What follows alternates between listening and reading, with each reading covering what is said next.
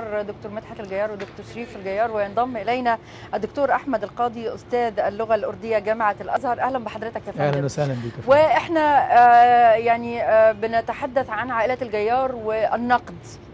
يعني ربما نسأل عن العلاقة بينك وبينهم. اولا أشكركم وأشكر البرنامج على استضافتي إن أنا أكون مع هذه الكوكبة من العلماء الأستاذ الدكتور مدحت الجيار والأستاذ الدكتور شريف الجيار.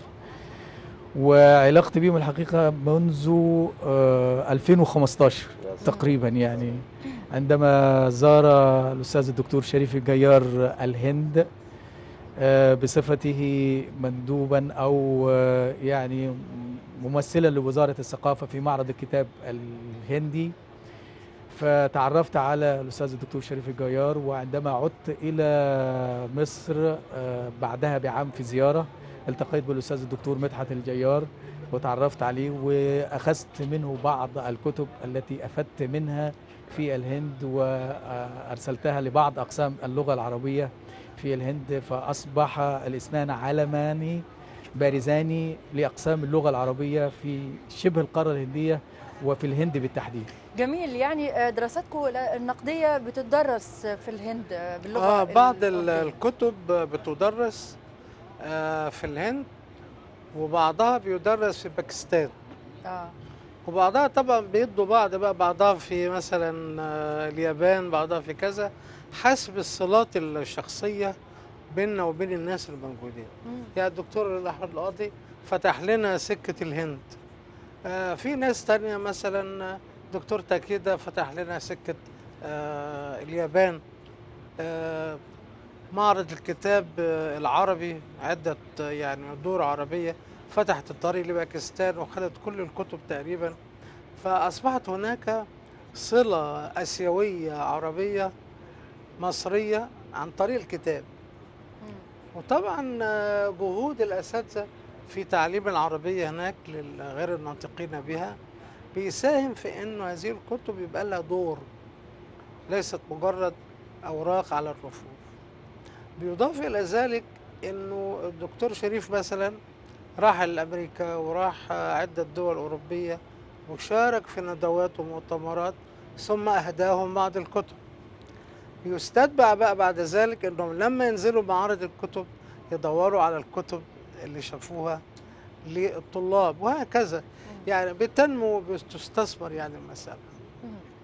جميل. يعني الكتاب يصنع علاقات ثقافية بين الشعوب نعم. يعني دكتور شريف أعتقد أن علاقتك بالهند بدأت قبل ما تروح الهند لأن ألف ليلة وليلة ودراستها النقدية لازم تشتبك الحضارة العربية مع الحضارة الهندية اسمحي لي بس في البداية وبشكر النهاردة حضور الأستاذ الدكتور أحمد القاضي لأنه لازم النهارده أقول للشعب المصري من خلال هذه القناة العريقة إنه هذا الرجل هذا المستشار المهم كان مستشارا ثقافيا في دلهي أو في نيو دلهي في الهند وفي خلال الفترة اللي خدم فيها مصر وخدم فيها الخارجية وخدم فيها وزارة التعليم العالي المصرية في الهند كان رجلا مشرفا إلى أقصى درجة.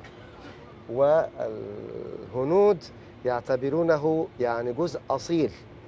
وشكله هندي يعني أصيل أيضا يعني هو خريج هو خريج جامعة دلهي هو خريج الهند هو آه. أستاذ وخريج الهند. ولكن ما شاهدته هناك إن كان في المعرض. كان في السفارة إن كان في الجامعات الهندية لا مصر لها حضور. العنصر المصري المثقف الواعي بكلمة الدولة وجدته في هذا الرجل الاستاذ الدكتور أحمد القاضي. ويسمح لي بقى إن أنا أوصل تحياتي لسفيرنا في الهند السفير حاتم تاج الدين. نعم. هذا السفير أيضا اللي يمثل نموذج مشرف للدولة المصرية في شبه القارة الهندية. استاذنا الدكتور أحمد عارف إن الهند هي مليار و300 مليون. نعم. بمعنى هي بعد الصين في في مسألة العدد. طبعا لما رحت كوكيل وزارة الثقافة المصرية إلى الهند في في معرض 2015 استقبلني هذا الرجل وساندني في وجود جناح لمصر جناح مشرف واللي افتتحه سياده السفير حاتم تاج الدين. الجميل إن تاني يوم إن الدكتور أحمد دعاني إلى جامعة نيودلهي ثم جامعة لال نهرو نعم. ثم جامعة الملية الإسلامية. نعم. وبالتالي بدأ مثقف مصري يدخل إلى أقسام اللغة العربية اللي منها مثلا في جامعة نيودلهي أنشئ عام 1908 واللي انشاه حتى الإنجليز. نعم. وبالتالي أقسام اللغة العربية هناك هي قوة ناعمة حقيقية. الجميل إنه الدكتور أحمد إلى جانب المحاضرات اللي عملناها هو يعني عمل لنا مشروع أتمنى. من وزيرة الثقافة المصرية الدكتورة إيناس وهي أستاذة عظيمة في مشروع أنا قدمته ولكن ما أعرفش ليه وزارة الثقافة لم تلتفت إليه إن إحنا اتفقنا مع ثلاثة أقسام للغة العربية هناك. هناك بيتعلموا اللغة العربية والثقافة العربية ولكن همهم الترجمة. طرحنا ساعتها مشروع وكان بمساعدة الدكتور أحمد حقيقي الدكتور أحمد القاضي إن إحنا ناخد مختارات من الثقافة المصرية والثقافة العربية. اللي بتمثلنا فعليا كان نجيب محفوظ أو غيره ونبدأ نعطيها لطلبة الماجستير والدكتوراه في أقسام اللغة العربية. هم يترجمون دون مقابل ونحن نطبع هنا كان في الهيئة العامة للكتاب في قصور الثقافة المركز القومي للترجمة. وبالتالي نكمل ما بدأه الدكتور أحمد وبدأه السابقون والسفراء العظام ونبدأ نعمل جسور ثقة جديدة عن طريق الخطاب الثقافي. لأن علاقتنا بالهند ليست ولدت اللحظة ده علاقات طويلة وعميقة وممتدة اللي أنا كمان عايز أقوله إن الهند بالتحديد من خلال سفارتنا هناك هي عمق استراتيجي لل- للدولة المصرية بشكل عام. الحاجة الجميلة اللي إحنا أملنا حتى مع الحوار مع الدكتور أحمد بنتمنى إن الإعلام المصري من خلال أي قناة مصرية ولكن تكون باللغة الإنجليزية تكون بالأردو بالهندي لازم تصل إلى ال- ال- القارة الهندية في مليار و300 مليون. والعلاقات بيننا أعتقد علاقات حميمة علاقات وط يعني وطيدة. وبالتالي الخطاب الثقافي بقى من خلال مستشار ثقافي واعي زي الدكتور أحمد القاضي إحنا محتاجين نكمل استراتيجية ثقافية تصل إلى الهند وما جانب الهند. جميل يعني آه، اللغة الأردية يعني الهند وباكستان وما حولها يعني آه، آه، منطقة كيف الدراسات العربية هناك أو العلاقات الثقافية المتبادلة كيف هي؟ آه، بس قبل أن أجيب على سؤال حضرتك دعيني أن أوضح نقطة أو أكمل ما قاله سعادة الدكتور شريف الجيار عندما زار سيادته الهند لم يكن في البرنامج إطلاقا زيارة جامعة. للجامعات صحيح الهندية. صحيح. ولكن هذا هو دور المستشار الثقافي ودور السفارة. صحيح. ففعلا آه، في وقت قليل جدا استطعنا أن نرتب ثلاث محاضرات في ثلاث جامعات مركزية. كبيرة جدا. لها قيمتها على مستوى العالم. كما ذكر سعادة الدكتور الجامعة الملية وجامعة جواهرلال نهرو وجامعة نيودهلي في الأقسام اللغة العربية. والحقيقة أن سعادة الدكتور شرفني وشرف مصر بالمحاضرات التي ألقاها خاصة وأن أقسام اللغة العربية تقوم على الدراسات الكلاسيكية صحيح. القديمة. ولكن عندما جاء الدكتور شريف الجيار وتعرفت عليه وبدأ يتحدث في الأدب المقارن وألف ليلة وليلة وما بين نجيب محفوظ وبعض الكتاب آه، تاغور وغيره من الكتاب فكان مبدعا وخاصة أن له باع طويل في اللغة الإنجليزية. فأقام مقارنة بين الأدب العربي والأدب الإنجليزي وبعض المؤلفات الهندية التي ترجمت فكان نموذجا رائعا استدعى مني بعده مباشرة أن أكتب لوزارة التعليم العالي أننا بحاجة إلى أستاذ كرسي للغة العربية في الجامعات الهندية وخاصة في نيودلهي وفعلا أرسلت الطلب لوزارة التعليم العالي لإنشاء, لإنشاء كرسي في جامعة جواهر لال نهرو. نعود بعد هذا السؤال ربما لم يكتمل لا هذا دلوقتي المشروع. حضرتك طرحت سؤال أهم.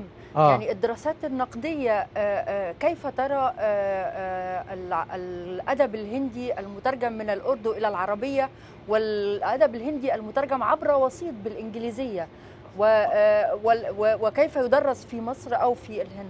آه طيب خليني أبدأ بالهند أولا لأنه ربما في مصر البعض يعرف. في الهند على الأقل حوالي 40 قسم في الجامعات المركزية والجامعات الإقليمية منتشرة في جميع ولايات الهند.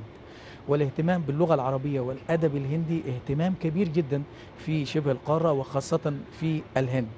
فالأدب العربي يدرس والدراسات المقارنة والنقد وكل ما يتعلق بالأدب العربي يدرس في الجامعات الهندية.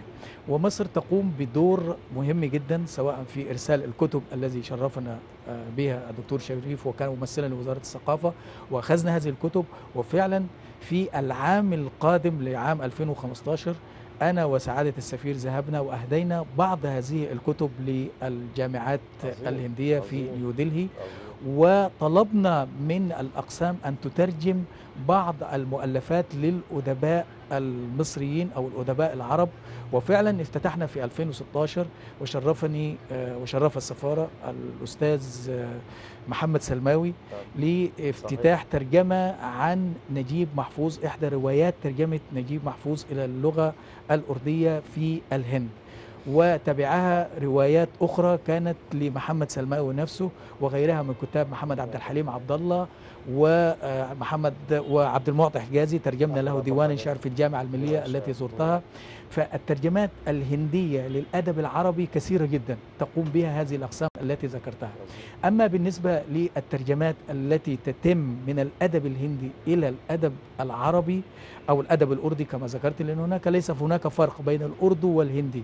الفرق فقط في الخط. اللغة الأردية هي اللغة الهندية والفرق بينهما في الكتابة. لكن من ناحية التعامل اللغتان أو نستطيع أنهما لغة واحدة بخطين مختلفين.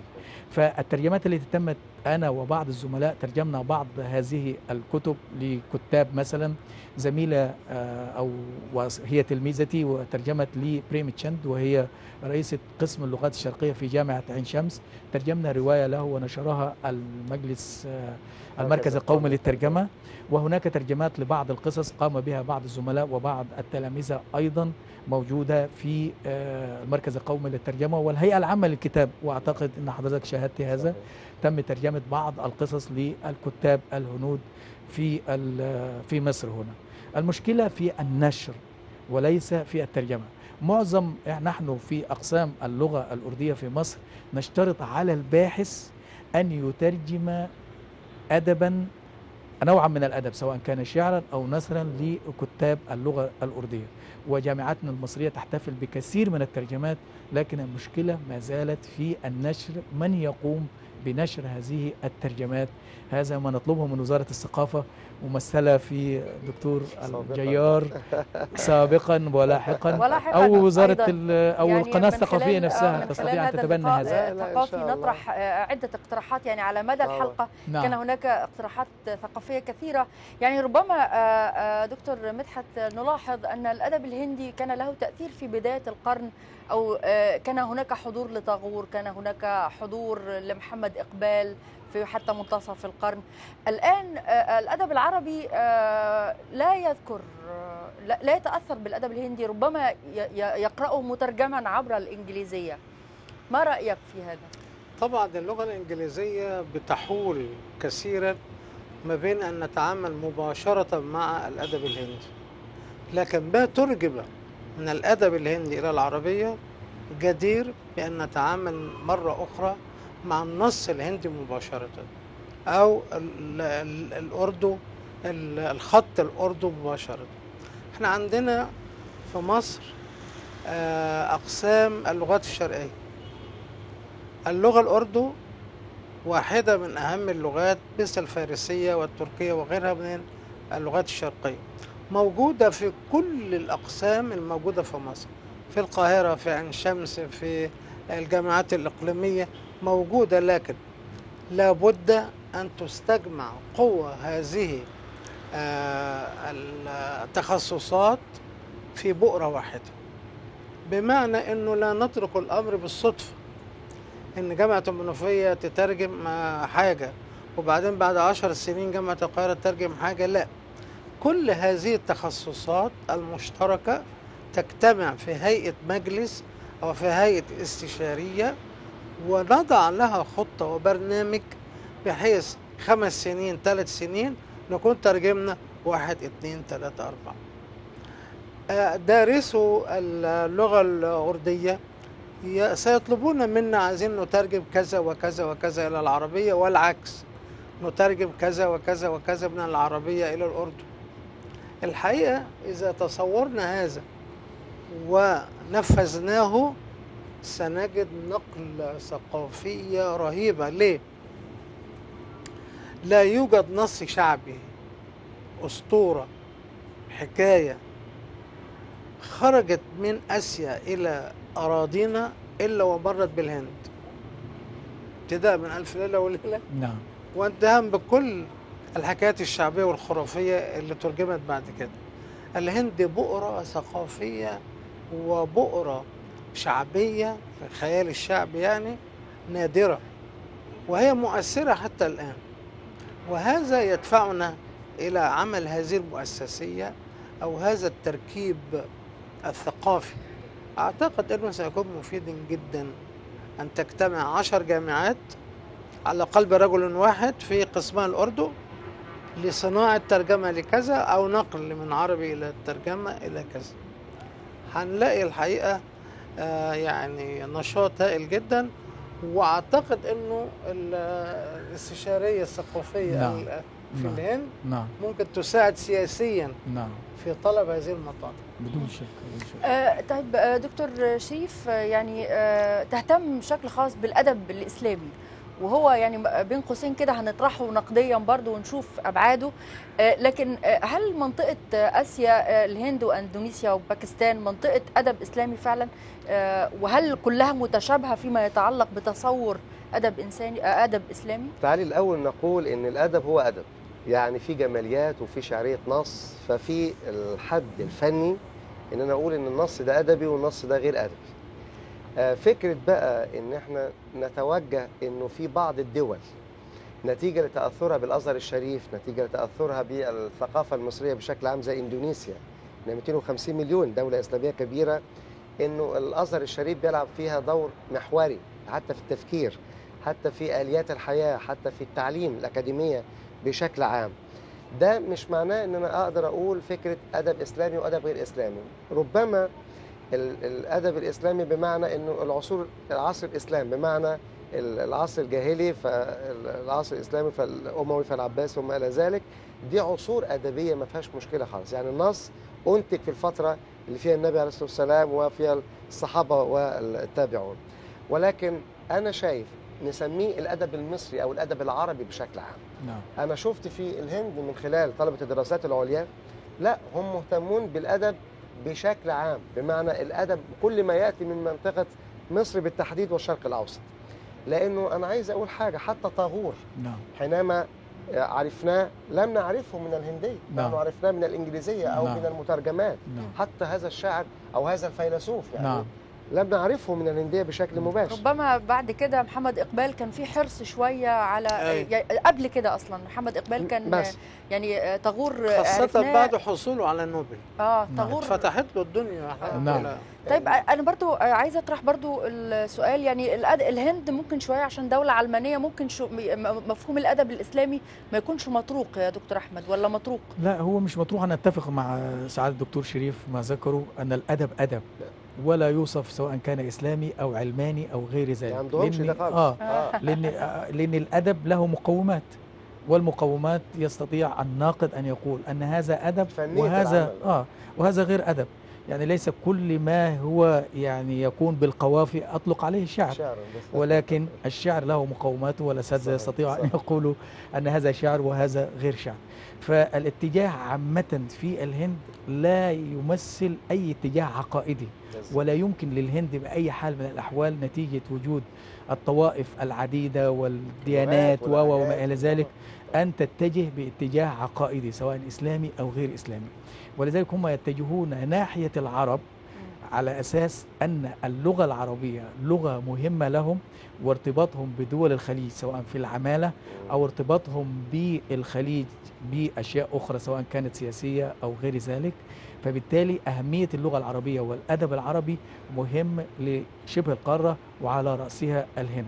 الوضع يختلف في باكستان طبعاً. بدون شك طبعا لأننا نعلم أن باكستان أقيمت على أساس ديني. بالفعل. ويمكن ده الوجه الآخر ما ينتج في باكستان على أساس أنها دولة إسلامية.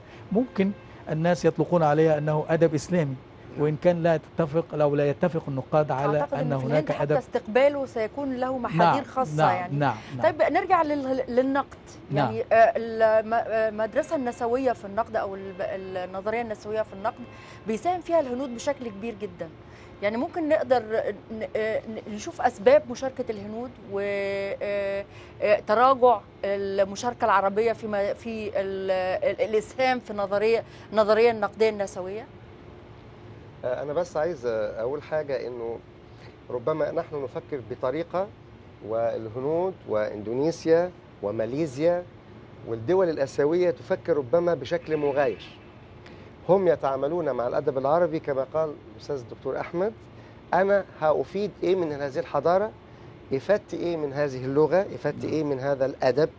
وده اللي خلاني أقول أكثر من مرة هنا وفي لقاءات أخرى إن أنا بدعو وزارة الثقافة لعقد بروتوكول ترجمة مع أقسام اللغة العربية داخل الجامعات الكبرى في الهند. اللي أنا عايز أقوله إن كان في بقى أدب آه، نسوي أو في آه، الأدب الذي تكتبه المرأة بشكل عام. أنا أعتقد ربما العادات والتقاليد والكوزموبوليتانيك يعني ال- ال- التغير الثقافي أو التنوع الثقافي الموجود في الهند هو قريب. يعني مصر لديها تنوع ثقافي في نعم. في المحافظات المختلفة. الهنود عندهم تنوع ثقافي وتنوع لغوي وتنوع في لهجات وبالتالي عايز أقول حتى المرأة الهندية إن كانت تكتب الرواية أو تكتب القصة أو تكتب الشعر أو المسرح هي لها المشكلات اللي ربما قريبة من بعض البيئات اللي موجوده في القرى عندنا في في مصر. وبالتالي ما تكتبه المرأة الهندية عن المشكلات اليومية لا أقول بقى مشكلة الجسد لأن خلاص إحنا عبرنا على هذه المشكلة. مشكلة التعبير عن المشاعر إحنا خلاص عبرنا هذه المشكلات. ولكن أنا أعتقد والدكتور أحمد يعني يؤكد هذا أو ينفيه إنه المرأة الهندية تكتب بآليات الرجل. بمعنى المشكلات المطروحة في أزقة الهند وفي الأرض الهندية لأنه الهند كلها مش أثرياء. الهند فيها فيها مشكلات. الهند طبعاً. فيها فقر. طبعا. الهند فيها مشكلة في الترانسبورتيشن في النقل. نعم. وبالتالي المشكلات اليومية الموجودة في حياة الإنسان الهندي مهمومة بها أيضا المرأة الهندية. ففكرة حتى النسوية اللي بدأت في سنة 60 و- واتطورت في سنة 70 مش هي اللي موجودة تماما على على صع- موجودة. الموجة تماماً. الثالثة دلوقتي يعني. الموجة الجديدة هي الأدب الملتصق بالواقع ولكن بتعبير أدبي وبتعبير فني. والدكتور أحمد يؤكد هذا أو صحيح يغيره دكتور أحمد في رأيك لماذا تسهم المرأة الهندية في الأدب النسوي العالمي أو لها تأثير أكبر من المرأة العربية؟ يعني يمكن ال- العربيات يتم عدهم على آه، أصابع اليد الواحدة نعم المؤثرات في الخطاب العالمي. نعم. طيب خليني بس أوضح نقطة يمكن نختلف فيها إلى حد ما. الأديب أديب سواء كان ذكر أو أنثى. طبعا. يعني لا علاقة زي ما قلنا الأدب أدب سواء كان إسلامي أو علماني صحيح. يعني الأدب أدب. المرأة الهندية أكثر تقريبا رغم أنها دولة محافظة لكن أكثر انفتاحا. وكما ذكر سعادة الدكتور شريف الجيار هي أكثر ارتباطا بالواقع. فالمشاكل التي يتعرض لها المجتمع سواء في الزواج المبكر أيوة. بالنسبة للسيدات تتولاها الأديبات بشكل كبير جدا في جميع إبداعاتهن. كذلك الحقوق المرأة المخدومة في الهند رغم أن الهند دولة علمانية إلا أنها دولة محافظة. فما زال الزواج بالنسبة للأنثى هناك مشكلة كبيرة جدا وخاصة الجهاز. فكل تقريبا مؤلفات المرأة والرجال تقريبا لابد أن تتناول هذه القضية صحيح. سواء كانت شعرا. أو نثرا. صحيح. لأنها مشكلة ومعضلة كبيرة. ويمكن نسبة الاغتصاب والانتحار بين النساء أو الفتيات في شبه القارة الهندية نسبة عالية مقارنة بالشرق الأوسط أو ال- البلاد الأخرى. فبالتالي ما تكتبه المرأة الهندية لا يختلف إلى حد ما عن ما تكتبه أي أديبة أخرى في أي بقاع. الفرق فقط في المشاكل المحلية التي تواجهها المرأة ربما الأديبة الهندية تسلط الضوء عليها بصفة أكثر ربما مصطلح النظرية النسوية لا يرتبط بالنوع أكثر مما إطلاقاً. يرتبط بنوعية الإبداع نفسه بالضبط المقاوم أو الذي يرتبط بالواقع سواء نعم. كتبه رجل أو نعم امرأة نعم نعم طيب دكتور مدحت يعني آه، اهتميت بالأدب السعودي أو الأدب الخليجي ورصدت ظاهرة نسوية حتى برضه صحيح. دكتور شريف عمل نفس الشيء هل ترى بأن آه، ده مؤشر على أن في آه، حركة نقدية ممكن تكون. حركة نسوية قادمة مثلا ويسبقها ابداع آه، حيث أن الإبداع سابق على النقد أم النقد سابق على الإبداع؟ الحقيقة آه، المنطقة بتاعت دول الخليج العربي منطقة لا تخضع لنفس المقاييس في شمال إفريقيا أو في بعض الدول الآسيوية. في حرية للمرأة المثقفة والمبدعة أكثر بكثير جدا من دول اسيوية أخرى. وبالتالي ال- المرأة تذهب إلى أمريكا وتذهب إلى أوروبا تتعلم اللغات تعمل في آه، أعمال ووظائف متعددة جدا. لكنها حين تعود إلى الكتابة تكتب الفن الروائي أو الشعري بشكل موضوعي. وهذا الأمر يعني أن السياسة تدفع بالمرأة للكتابة المستقلة. لو عدنا إلى الهند مثلا ووجدنا انديرا غاندي وهي تقود هذه الأمة كلها وتقود الأحزاب الموجودة رغم أنها في حزب تاني. سنجد أن وجود امرأة على رأس السلطة يساعد المرأة في مجالات أخرى على أن تبرز لا تضطهد.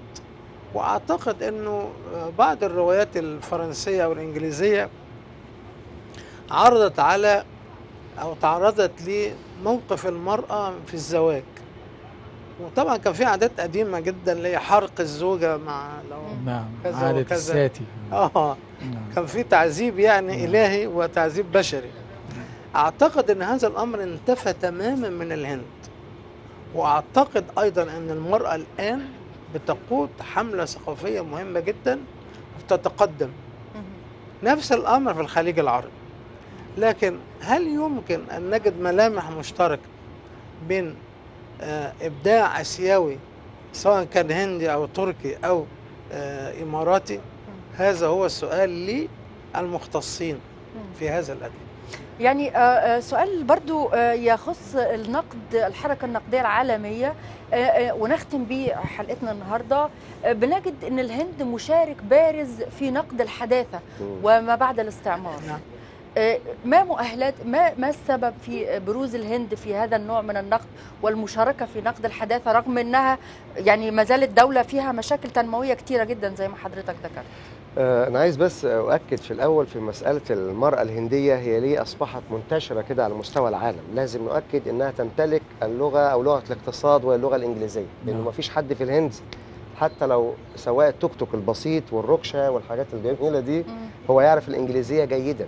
وتعرف ها؟ والذهب آه، الست الهندية أكتر ست عندها ذهب في العالم نعم يعني فعندها قوة قوة اقتصادية وقوه يعني. أغنى امرأة في العالم أيوه وبالتالي هي تمتلك لغة الاقتصاد الثقافي لغة صحيح. صناعة الثقافة آه. يعني أنا قابلت في إندونيسيا كذا أستاذة من من الهند وهي تقيم المحاضرة هي مبهرة هي نعم. اتراكتيف جدا جاذبة لأنها عندها خفة الظل نعم. وعندها وعي بالثقافات المختلفة وعندها لغة تواصل اللغة الإنجليزية بالتحديد فعندها حضور وعندها وعي لأن الهند بلد حضارة يعني بلد حضارة عميقة يعني.